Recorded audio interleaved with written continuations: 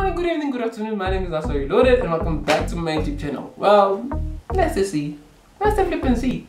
Dropped his third studio album titled Zulu Man with some power. That was very, very, very, very much anticipated. 20 tracks, the boy did not disappoint. Let's see if this album is a hit. Maybe never in a million years. That could happen. Let's review.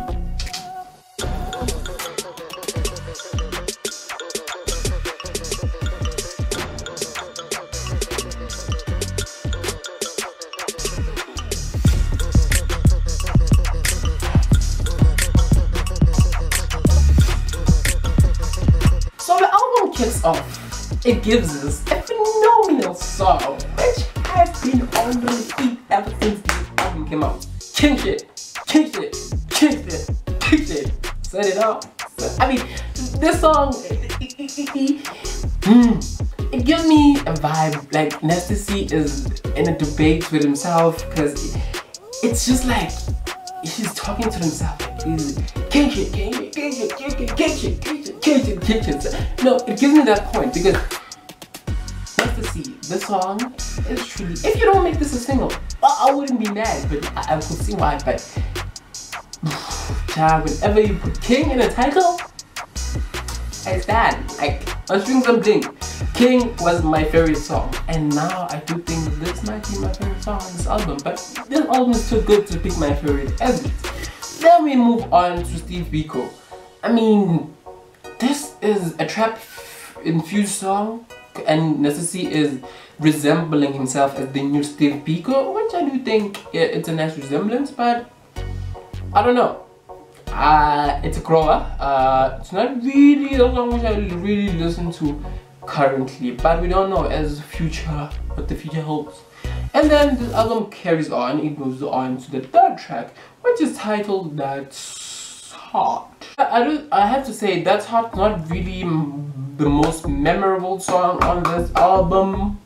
I don't know, but for me, I don't think it's like the most memorable song on this album. I don't think it's something which we just randomly play in my head. Go to Overpriced Steak. I don't think Nasty C has played alongside this sound before on Bad Hair. I think with Phases and Good Girls Stay at Home. They give me that vibe. I don't know if I'm reaching, but they do give me that vibe. Overpriced Steak. Um, well, we do know you're not really speaking about steak at this point, but if you know, you know. So, uh, the most memorable track on the album? Mm, no. Then we go into feelings. Let me tell you something. If a song is titled Feelings, I have never, ever, ever, ever in my entire life, in an album, heard a song titled Feelings and it's not really nice.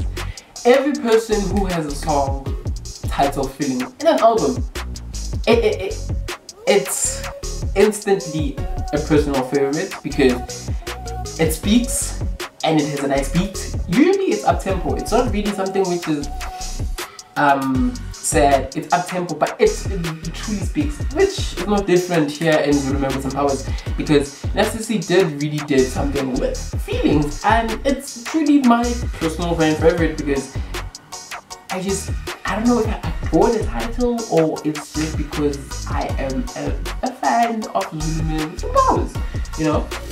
Move on to La Vida Loca. Six songs in and this album doesn't have any features as yet legendary.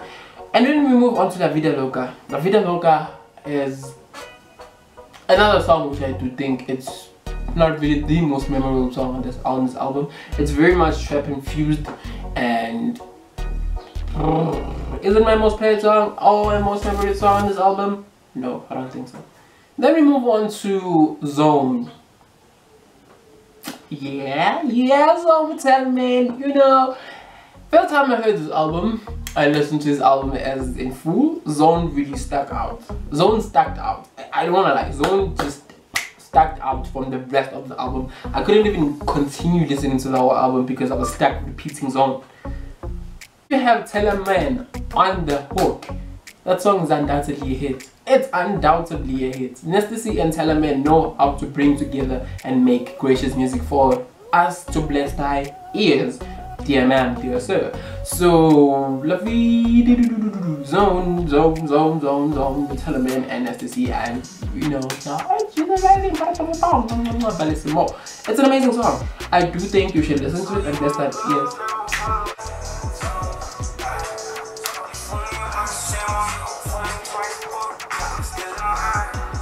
Ah, that's my jam. That. As we have a song title, how many times? How many times? How many times um, it gives me pop, no, hip hop elements and it infuses a lot of, lot of, lot of, lot of, lot of in the sound. It, but it does sound something. It does sound like something I've heard before. It sounds very, very familiar. Is it the most memorable song on the album? No, it's not. And then we go to Be Great the great song titled Easy. Well, after Pro, let's see one thing.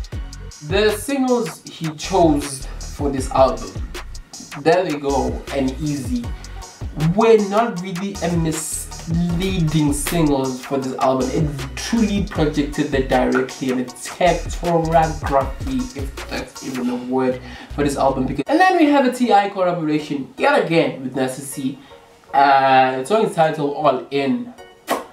Um, hmm. Why is this needed? Nope. Is it a personal favorite? Nope.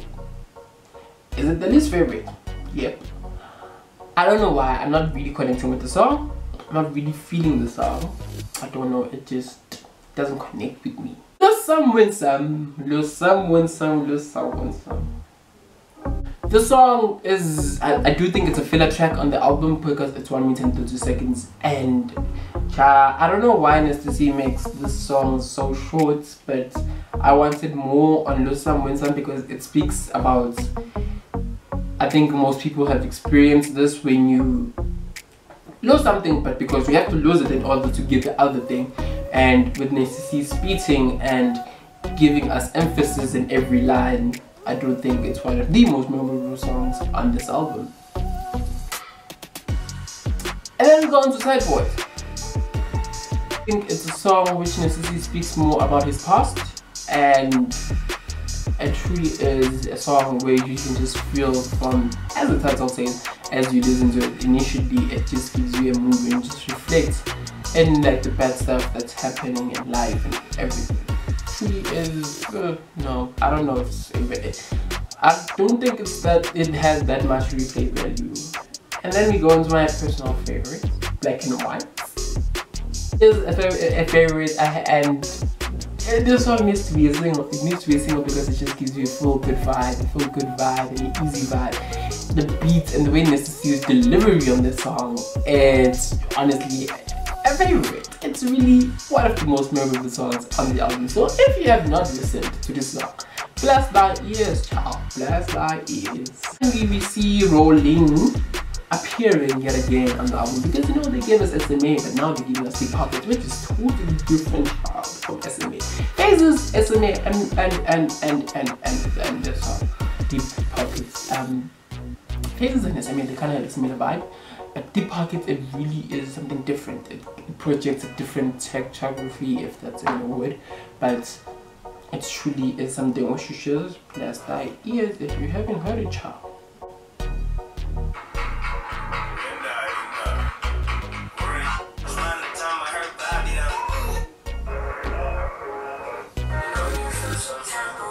I have to say, before Rowlene's verse, I was like so confused what the song was going to. It was giving me I don't know, some African vibes, some Africanicity. But when Rowlene came in, it just became easy and it moved and, and it connected with me because I was so confused with all the drums going on. I was like, child, are we really going something which is really comfortable?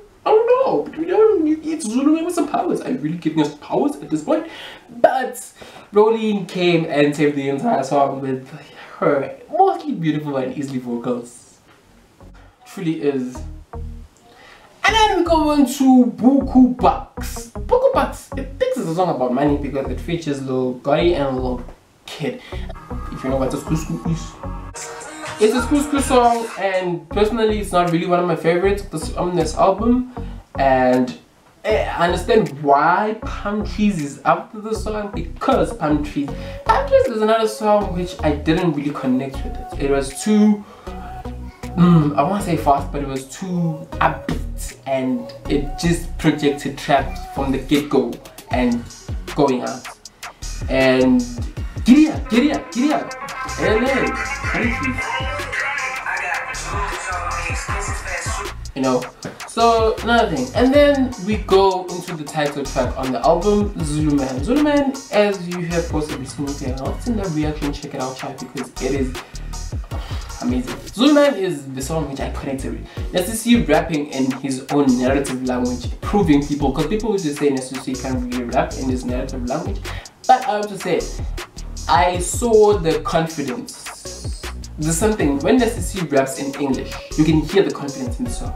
But when he raps in his own narrative language, I'm not saying it's bad, but I'm saying that the confidence is different. It's just not really that much stature and that much presence in the verses. But I have to say, the verses were very in your face and they were very relatable in some points. I have to applaud the man on rapping in his narrative language. We need more of that and truly is Zulu Man. Although it's a filler track on the album, but shout out to you.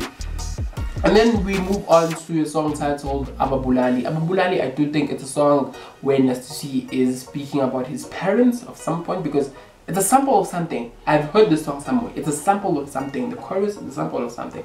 And it really is an emotional song which connects with you emotionally and spiritually and you just it gives you and it just gives you phases in your head and gives you moments where you can not just ignore them but you have to face them you know Ababulali is really is one of the most memorable songs on the album. And Nasty C singing cha cha cha you know and speeding at the same time. 3 minutes and 30 seconds long. We have to stand. The song is truly one of the favorites on this album and then we have the also great, the also mighty, the first official single of this album titled There Go. There Go was released as the first official single of this album and I have to say it really really brought me back to ecstasy and it really made me very anticipating about the album because when the song came I was just like oh we back to Strings and Bling Hella because something happened they don't a song which we have spoken about about Black Lives Matter and being black so with T.I another song which I do think and on the album. So that's the 20 songs of Man with some powers. Please comment down in the comment section below and tell me what you think about this album. Is it really a hit or maybe it's a miss? But let me tell you something, this song truly deserves it. Let's see how many songs do I actually like on this album. And King Shit. Um, Smooth Feelings Zone, Easy, Lose Some, Win Some, Black and White, Deep Pockets, Zulu Man, Ababulali, There They Go, they don't. 10 out of 20. That's why it's a hit. So please give this video a thumbs up, subscribe and share. And if you have any other recommendations, leave them down in the comment section below. I'll be happy to watch and react to them. But in the meantime, I'll catch you on the next one. Make sure to stream this album and bless thy ears if you have not heard it. So me, Master Reloaded, all I'm saying is thank you and please come again.